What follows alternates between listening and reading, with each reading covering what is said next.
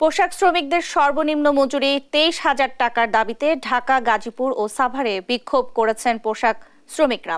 এ সময় police box ও গাড়িতে আগুন দেওয়া সহ বেশ কয়েকটি বাস ভাঙচুর করেন তারা। মিরপুরে স্থানীয় দুর্বৃত্তের হামলায় আহত অন্তত পঞ্চাশ জন পোশাক শ্রমিক।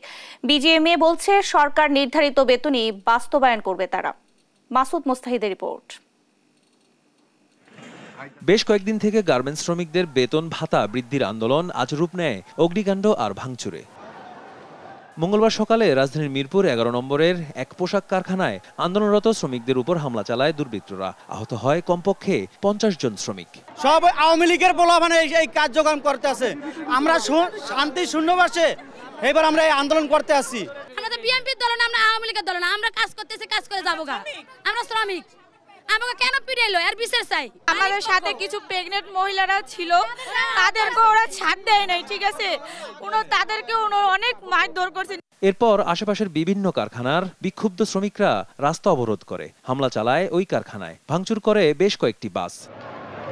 একই দাবিতে আন্দোলন করতে গিয়ে গাজীপুরের শফিপুরের জেলা ট্রাফিক পুলিশ বক্সে ভাঙচুর করে আগুন দেয় পোশাক শ্রমিকরা। এর আগে চন্দ্রা এলাকার অপর একটি ট্রাফিক পুলিশ বক্সে ভাঙচুর করেন শ্রমিকরা।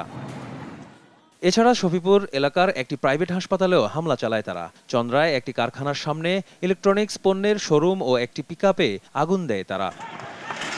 এদিকে সাভারে পুলিশের সঙ্গে পোশাক শ্রমিকদের ধাওয়া পাল্টা ধাওয়ার ঘটনা ঘটেছে। এ সময় পুলিশ কয়েক রাউন্ড টিয়ার গ্যাস নিক্ষেপ করে। ঢাকা থেকে তারা বিভিন্ন ধরনের উস্কানি দিচ্ছে। সেই জিনিসগুলো আমরা এখানে ফেস করতেছি এবং শ্রমিক উশৃঙ্খল যে শ্রমিক আছে তাদেরকে আমরা ছত্রভঙ্গ করে দিচ্ছি। তারা যেন কোনো ধরনের সহিংসতামূলক কার্যক্রমে লিপ্ত হতে না পারে, আমরা সেই পদক্ষেপ গ্রহণ করছি।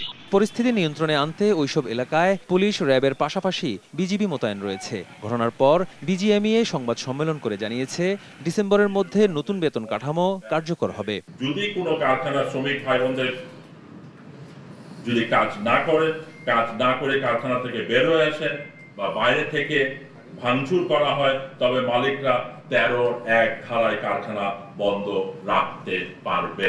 ন্যূনতম মজুরি তেইশ হাজার টাকার দাবিতে গেল আট দিন থেকে দেশের বিভিন্ন এলাকায় আন্দোলন করে যাচ্ছে গার্মেন্টস শ্রমিকরা।